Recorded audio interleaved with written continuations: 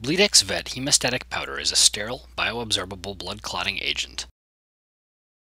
Use Bleed-X in just about any sterile surgical application, like this liver biopsy. First, remove excess blood with a gauze pad or with aspiration in order to visualize the source of bleeding. Quickly apply a liberal amount of the powder using our pre-filled syringe applicator. Insert the syringe tip into the wound site and use an excess amount of powder to ensure that the clot forms in contact with the underlying tissue.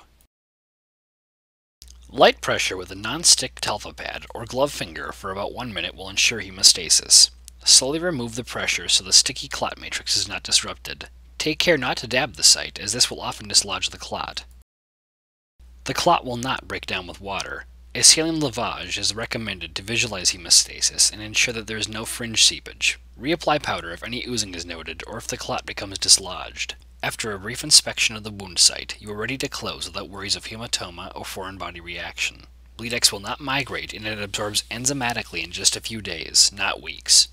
Perfect for any soft tissue surgery, including spays and neuters, mass removals, as well as dental procedures and topical trauma treatments.